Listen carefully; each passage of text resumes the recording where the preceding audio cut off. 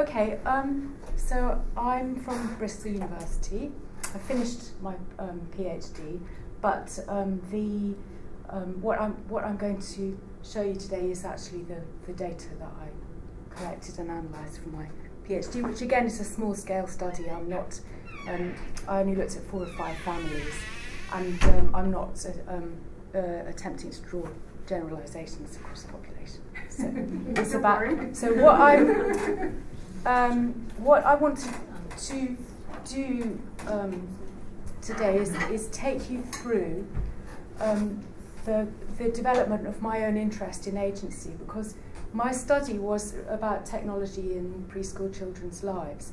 And, and as I um, studied and, and looked at what, at what I was finding or observing, um, something about agency started to come out really strongly. So um, I've, since since you know during the course of finishing the PhD and then since then I've been looking at literature on, on agency but I'm still really not quite sure what we mean by it. And um, so one of the reasons why I'm here is to try and, and develop that a bit. So I will end if I get time because this might run on too long I'll try and be short um, by, by showing you some of the um, literature that I've started to look at on agency and it would be interesting to have your input and your reflections on that and maybe some of the other questions that have arisen. So, as I've said, I was looking at technology in preschool children's lives and I went um, to visit some families in Bristol and asked them um, what technologies they had in the home, what they used themselves or the um, elder siblings used, and um, how their young children, can you see all these properly? Mm -hmm um, got involved in, in using that. And they'd already agreed before I went to visit them that they would be happy to make videos for me. So I left them with a tripod and a camera and asked them to make maybe, you know, up to about 20 minutes worth of video of the situations that they described where they used the child used technology alongside somebody else. And actually all the families gave me a whole hour of, of video. Um, so I really had quite a lot to, to look at. Um, and I'll give you some, some brief examples of, of some of the things that come out of the video, although I'm not actually presenting any video it, itself. So just an outline of what I'm going to try and achieve. How much time have I got, by the way? Half an hour. Half an hour, okay. Um, I want to um, talk about the theory about interaction and learning that um, I took me into the study. Um, and then the, the thing that was a, a kind of big for me, which was about approaches to studying interaction between adults and children. And I'll, I'll touch on agency. Um, and then I will um, show you examples of adults and children using di digital technologies at home. And then I hope we'll have a discussion about what the difference the artifact makes. Um, and, and also, if time, some talk about um, agency and design. So the thing that is actually going to take up most of the time will be this number two. I'll get on with it. so um, uh, just, those of you who are familiar with Vygotsky, can you raise a hand if you are? Yes, great. We'll probably be familiar with this quote or a version of it. Um, and so what we're saying is learning is fundamentally social. Any function in the child's cultural development appears twice on two planes. First, it appears on the social plane and then on the psychological plane. First, it appears between people as an interpsychological category, and then within the child as an intrapsychological category. Then Vygotsky says this is equally true with regard to voluntary attention, logical memory, the formation of concepts, and the development of volition. So there's something quite interesting in, in here, isn't it, when we're thinking about agency because what I the ideas that I've been playing with are about voluntary attention and, and volition. And so I think Vygotsky is probably talking about agency there, but it's not, as far as I know, it's not developed further um, in his in his work. So the previous slide I had um, is about Trevarthen. Do you know about? Okay, so some people do, some people. Um, so there's some really I think, absolutely lovely work, which um, Trevarthen and other people, which demonstrates that children come into into the world um, already um, uh, ready for, um, for interaction with others. And I think this possibly, it may not necessarily be true for children who are autistic, but that's not my field. So, um, you know, this, that, that's kind of an interest, obviously a very interesting question. So then Trevarthen says, uh, separates primary from secondary and sub intersubjectivity. Basically, he's saying around the year of age, there, there's um, the, context, the context in which interaction happens becomes um, more, more relevant. I'm not going to go into this any further because I could get bogged down in it and take all day. Um, so my approach to artifacts is that they're part of the physical environment in which we act and they are um, given meaning um, by the people who are using them. So this, this quote actually comes from the com computer-supported CSCL literature, which is sort of where I kind of belong in, in my work around technology. So um, it, the meaning of artifacts is constituted in dialogue between participants who, through their actions, are responding to various contextual features of the setting and thereby making them relevant. Go past that, but it's just to mention that this comes up in the computer-supported collaborative learning literature, which is as well as as work around young children. Um, so just in, in summary, in that quick whiz to introduce where I'm coming from, learning is, I understand, as meaning-making, interpersonal activity in a context. Um, attention is important. Meaning-making involves relating between known and new. And the, the moving on um, to the next bit is uh, that, that work around what, what we understand about interaction learning is grounded in a traditional of studying the adult-child dyad. And that's what I want to um, quickly look at. So um, are many people familiar with the scaffolding study, Wood, Bruner and Ross, 1976? So you've heard of scaffolding? So there's the the uh, the study that where that gave birth to the idea scaffold term scaffolding comes from a study of um, an, uh, an adult ex experimenter tutor and um, children and they were building a, a, a tower and it's um, uh, analysis of the inter interactions between the, the tutor and the child.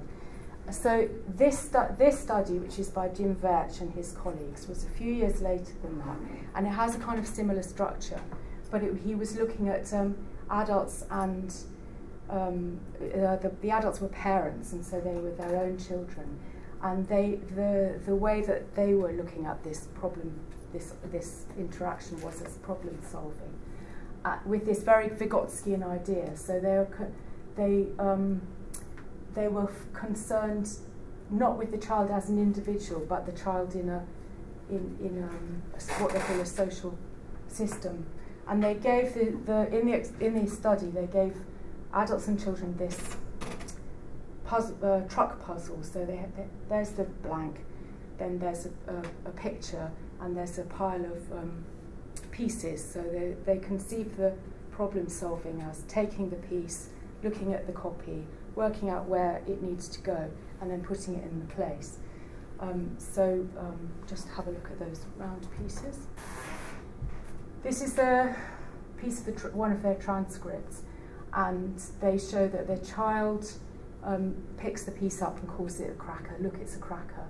Um, and the mum says, oh yes, they look like crackers. And, and in through the course of the dialogue, the child comes, the, the, the adult is working to bring the child's um, understanding to what hers is.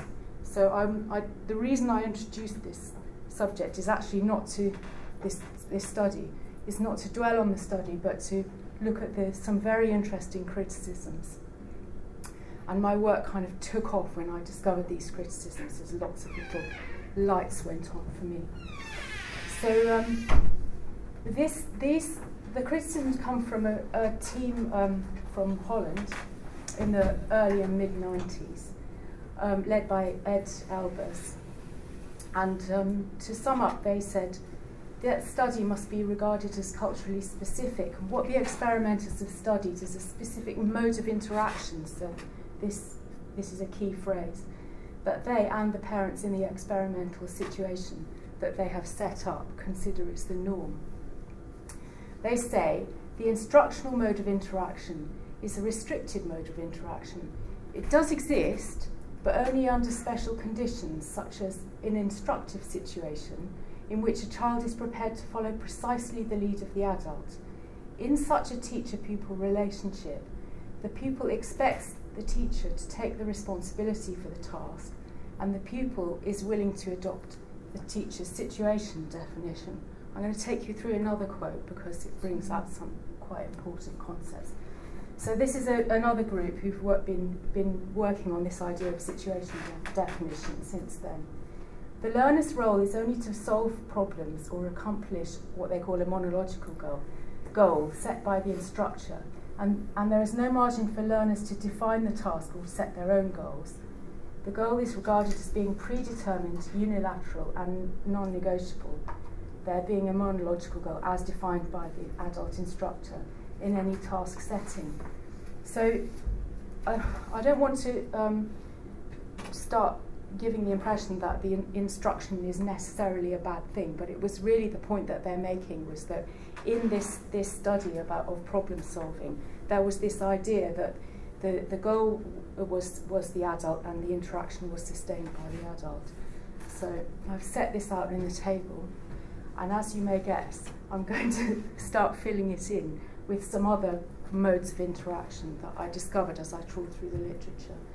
So how many people are familiar with Tizard and Hughes' Young Children Learning, 1984? No?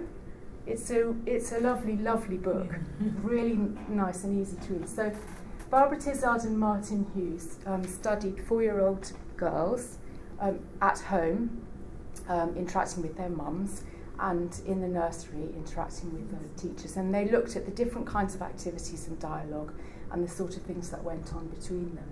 And one of the things that they describe in their lovely book is something that they call passages of intellectual search. They characterize this four-year-old as the kind of puzzling person wanting to work out the world. And they ask loads of questions, and anyone who's familiar with children that age know there's lots and lots of questions. And so they, they talk about a form of dialogue where the child opens it with a question and continues to sustain it with persistent questioning. And that they suggest, and other people, that it's actually a very potent form of supporting their learning because their questioning and initiation of interactions with other people creates situations which, in response to their curiosity, they are frequently offered information which is outside the Im immediate situation. So I'll characterise this mode of interaction as, as um, set and sustained by the, both set and sustained by the child. So I'm off looking for more modes of interaction, and I found um, something very interesting, um, which I've called joint imaginative talk and pretense.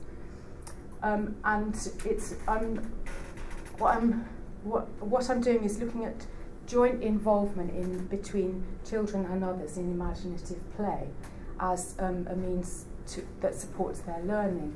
Now, Paul Harris has written a couple of really interesting books this one 2000 and then another one just this year, which is about children learning from testimony, so um, uh, learning from what other people tell you.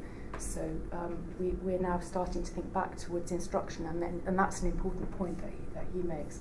So what Paul Harris argues quite strongly is that um, make, make believe and imaginative play are the means by which children develop their ability to imagine alternative possibilities and to work out their implications, which is the kind of the let's call it the cognitive mechanisms or the practice that that they need to have to be able to accept an idea from you and then take it somewhere. So what he he says is that um, the children already start school able to learn from instruction and the way you, the way that they prepare themselves for it is um, uh, is is through it, it, imagining something happening and then working it through. So he says, um, when children start to engage in joint pretense, they must be aware to the stipulations that their play partner introduces, like a teacher, as a teacher might later in a different context.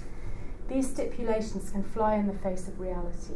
They can imply that an empty teapot contains tea, for example. Pretend play is a very early context in which children are called on to accept premises introduced by their partner and to respond in a consequential fashion. So here we go. In my um, categorization, I've said that I've called a playful or imaginative joint play or joint talk as a mode of interaction which is sustained by both and doesn't have a goal, but it's potent for children's learning. I just want to stop at this point and um, kind of put a bit of a, I don't know if it's a damper, it's probably not the right word, on what I've said, because this is really, really heavily language influenced. This is really, there's a kind of assumption that everything is about children learning through language. And this says, I know you can't see it, Barbara, it's Barbara Rogoff's apprenticeship in thinking. So she's an anthropologist and she's done cross-cultural comparison between um, uh, Western children and children from um, Maya, Mayan community and uh, other South American communities.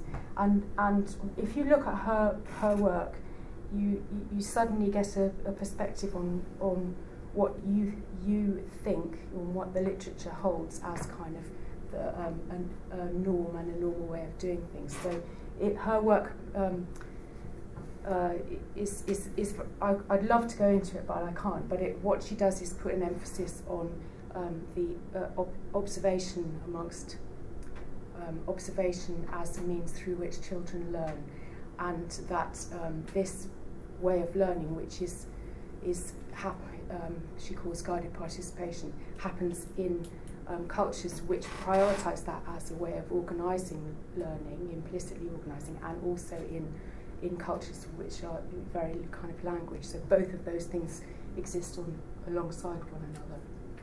Okay, now on to technology. So this is the kind of thing that I found that uh, a lot of my families had, and I was actually quite surprised. But it turns out that um, people they get handed on, or um, people people kind of they don't necessarily go out and buy them, but lots and lots of families with small children have got this somewhere in the cupboard. So um, in the videos that they gave back to me, um, they there were examples of them using this, these things. So there's that this one's called a LeapPad and that one's called a VTech laptop, and they're both modelled on the um, the idea of um, uh, laptop, and they have uh, games in in them, um, and in in each case there's something that you press that's like that's similar, bears similarities to a laptop. So um, I've uh, transcribed my videos um, looking at gesture and eye contact and uh, language. And um, it was really important to me not to fall into the trap that the critics of Fairchild study um, have made quite clear. I needed a means of analysing the interactions in a way that didn't carry taken for granted about goals and control. And I found that in this fascinating paper, um, which is from a journal, um, Mind, Culture and Activity, and I won't pronounce their names correctly, but it's Anna Marjanovic Shane and Lubyanka Belansky Rustic. This called From Play to Art, Experience to Insight, and there's a big section about adult-child interaction where they develop the, um, the theory and then they apply it to adults doing drama together. So I don't know if you can see that, but what they they say is um, they're looking at an an analytic unit of meaning making, and they um, describe there's a, as a propositional act that establishes a me, three, that the active subject, and you, um, the relational subject, and the topic, which is a communicative object. So um, let's go just go down here. The, there's, a topic is established perhaps by pointing to something, but it could be by indication through language. So it's something that we're talking about. So we could, it could be pointing at that, or we could be talking about a dog. And the, the, the relationships are developed through comment, so it would be um, a, res a response or something that develops that topic. Oh, yes, that's my table or um, yes, a, a, black dog. Uh, this is a very simple example. Um, and that, that, that then becomes the, uh, the new topic. So the interaction proceeds by this whole kind of chain of, of um, uh, establishing and, and developing. But the thing they say that I think is fascinating is that relationships between the interactors are also are also being developed at the same time. And uh, um, that's a kind of theme that I will come back to, although it's something that I didn't develop in, in my work. Okay. So i how much time have I got left? Okay. Um, I can give you a detailed example of um, uh, analysis of what I did of a, this little girl, aged two and a half, using the LeapPad at bedtime with her father. So her mum's holding the camera and her, elder sister's also there in the, in the video. You can hear her talking. I'm not playing the video, but I do want to show you this. Oh, it's useless, I can't see it. Yeah, see if we can do it. So, um, the, the little girl's here. She's got a drink of milk in her hand. There's the LeapPad. She's holding the pen. She's pressing up with it on this interactive um, point. Her dad's lying behind her and he's, she's nestled against him. He's got his arm mm. round her. And um, as she presses the pen on the um, LeapPad, it makes this noise, an electronic feedback noise. It goes dibbity dim. And um, on top of that, she gets, the father looks at her and he turns to her and she feels, turns around smiles and he says, What do you think he says? Good. Well done. yeah. So that became something that I, I was quite interested in. Like, okay, there's this whole social thing that's going on on top of this well done that's coming out of the machine. And I, I watched for that as, it, as I went through and did this analysis. So here's this the topic and the comment that I was talking about. So we're talking about sharing attention, establishing a topic, and uh, what the second person does to, to um, uh, the, the, comment, and whether the um, next person develops the topic. And uh, it enabled me to see this pattern that uh, I really um, possibly wouldn't have no noticed. So here we go. This is the one I've just shown you. So there's a jingle, and um, the, the dad says, and looks at a little girl. And, and she turns around and goes, or actually, it's not the well done, it was another one. Um, and she meets his, his gaze. And then the next time it happens, um, she initiates it, so she looks at him and smiles, and then he turns around and says, "Oh, good." And then we that we have it a few, you know, just immediately afterwards. Um, she he looks at her and rocks side to side as there's music, and then she does um, the same thing. Okay, late, later on, there's quite a lot of messing on the, around that kind of goes goes on. So later on, um, there's another jingle as, as um, she presses something, and it's actually a kind of it goes rather going dibbly dee, it goes doobly doo. So the little girl looks at the, the dad and smiles and makes eye contact, and he does something rather different. So he doesn't do one of these kind of oh yes kind of things. He's he makes eye contact and raises his eyebrows, tilts his head, has his hand on her shoulder, and then repeats the last word that the LeapPad says. So it's, it's, it's a completely different type of response. And then, then the next time this noise happens, um, she does pretty much the same thing as, as last time. She smiles, smiles at him. He puts his hand on her shoulder and, and does this kind of pause. So in neither of these cases he taken up her, her um, meaning making. And then uh, the last time it happens, um, she doesn't initiate anything. And the, um, so she's, she kind of stops doing this response to the music. So, so, so what I was interested, what, what seemed to be happening to me is um, something I thought was quite in the context of the theoretical stuff I've been talking to you about, is that there's something quite interesting going on because actually what that dad could have done is to have used the whole LeapPad as a whole game of making noises and having and enjoying them. And that was the, the kind of pattern of things that she had she was approaching with. Uh, and, and he didn't do that. And then the question is, well, why, he, why didn't he do that? And it's like, it's kind of, a, it feels like a stupid question to ask, well, why didn't he do it? What, you know, what, why, why didn't, why did he, did, did he change the way that he reacted to her as the, these different noises came out of the machine? Because they were errors. Yeah, and he knew they were errors. And how did he know what was supposed to be going on? So the right thing and the wrong things. Yeah, and where did he get that from? Noise. Hmm? His life. Yeah, okay. So, so to me, what's going on with this device is it invokes this idea about right answers, wrong answers, um, and that what you're supposed to do with it is to, to uh, go through a series of operations that then provides you with the right answer.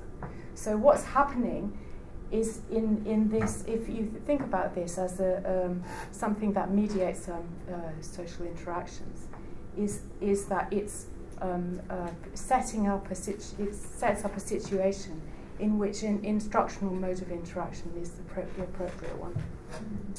Um, here's another one. Briefly, I don't go through the whole analysis.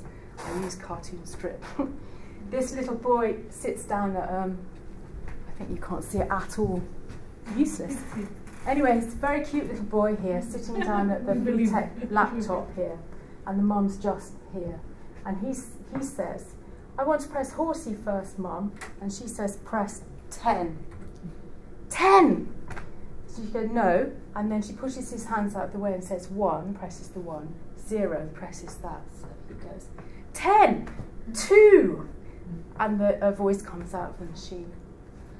And uh, in, in, res in response to that, or you know, not in response to that, she says, right, press that one there. And, and uh, I think that's the end. So um, uh, that very brief extract is, is, is just to present to you, you know, another situation in which the child's making his own meaning. So this is about saying numbers and pressing them. And, um, but the, the mum's kind of persevering with, with, with the task. I've got another couple of examples. This one, um, a little girl, um, she uses this a lot, and she's um, uh, she uses it on her own quite a lot. And she, what she does with it is um, she puts her favourite um, cassette in it, which plays the dialogue from a lot of dialogue from um, the Little Mermaid Disney film, and she the when she's using it on this occasion with her mum, who's holding the video behind her um, she she initiates quite a lot of these kind of quite interesting bits of conversation about who's shouting at who, and they have this kind of nice exchange about um, being cross and the seals and what you know she's going to kill her. Oh, that sounds a bit stiff, isn't it? But the mom keeps saying, "Are you going to turn the page? Are you, are you going to turn the page? Go on to the next one." So this does really, it, you know, I hope it works for you because it certainly reminds me of this thing about the, the in this situation, the, the, the adults working to get the child to making, the, making meaning of it in the same yeah. way as, as they are. And then, um, uh, yeah, so actually what I wanted to do was give you that table again with the, the, um, uh, the, the modes, modes of interaction. But um, my point is really that um, we, we've we've got these devices that invoke a particular kind of mode of interaction into, um, into the home um, in, in preschool settings and in a context of us now understanding that um, joint imaginative play or um, the children's child motivated um, curiosity and questioning may be um, more effective ways for the child to, to, to support for their child's learning to be supported and the basis on which they will subsequently learn from instruction when they get into school. So the, the um, my kind of take-home message from that was instruction isn't instruction in schooling is not well supported by um, in instruction in the home. So um, lear learning as uh, in, in, uh, that you might do at home in order to prepare a child for school isn't is probably not well supported by um, devices that bring in this kind of particular mode of, mode of interaction. So um, uh, when when uh, we're we're talking about um, the artifact, sorry, I'm going to go past this because I just get bogged down with it. Um, uh, on the front end of my thesis, it's a really long exploration about the, the picture book as an artifact that supports interaction between adults and children. And there are all sorts of bits of research literature which look at the, the kind of dialogue that happens between adults and children. And this, you know, it includes lots of stuff about questioning and, and imaginative and learning new vocabulary that the child might not have encountered and all sorts of concepts. And what it also does say is um, it, the way that a, an adult uses a book with a child doesn't depend on the book. It depends on their cultural notion or cultural background about what it's right to do with the book. So there's nothing in a book to stop you saying what's you know what's this that that's a red horse well done. So one family might use it that way, and another family might use it in a very imaginative way. So so the the, the key thing is it's never just the artifact. It would be perfectly possible for people to use a book or a LeapPad or anything in the way that they felt was important if that's what they want to do. But the thing about those those um, uh, LeapPads and so on is that it does bring it emphasis this instructional mode of interaction and I haven't mentioned the word agency, but I hope you understand yes. that what I'm. Yeah, there's a lot of agencies. Yeah, there's a, a the child's a agency is is more pronounced in the the playful and in questioning. Oh look, I did actually have something about agency. Okay, so according to Vygotsky, it's through social interaction that children develop voluntary attention to, and volition. Um, and I, in my work, I have um, concentrated on the idea that um, it's in the if the child has agency in, in the interaction, then learning is more likely to happen. Well, that's kind of a simplistic um, way of, of articulating what I've said. But then there's this interesting thing, isn't there, about well, does the child develop their own sense of agency in life, you know, as, a, as an autonomous agent or whatever, through interaction? And I think the kind of focus of this conference is, is to say yes, you know, yes, yeah, yes, if you are repeatedly given um, uh, opportunities to exercise ag agency, then you, we think you're going to become a more agentic person. I, I kind of think that it's a slight um, le leap of faith, but then it might not be. But certainly it seems to be there in what Vygotsky says. So here am I kind of puzzling away about like kind of, well, you know, what, what, what do we understand agency, what do we think it is, and, and what do we want our children to, to become, and how will we know we've got it, they've got it. And so in my reading, and I'm going to get really fuzzy here because I'm not sufficiently fluent with the concepts or the literature, so you're going to have to forgive me. Um, that I've looked in archaeology um, because they're interested in artifacts and cognition. Fantastic. They go around looking, finding artifacts, and then they have to work, try and work backwards to how these things were used and how people thought and what their lives were like. So they theorise agency in relation to artefacts. So there's a guy called John Rooke, I think he's at the University of Cambridge, and I've got his paper, and he's done a, quite a nice historical survey um, of, of theory around agency. And he said, it, certainly in archaeology, it was always originally thought of as intentional action. So it's a kind of, it, originally, it was taken for granted that um, you intend to be a king and defeat lots of people and you know become a, and you if you have you have agency if you're the sort of person who you know kind of can go out and do that does that. So I'm really glossing this I tell you.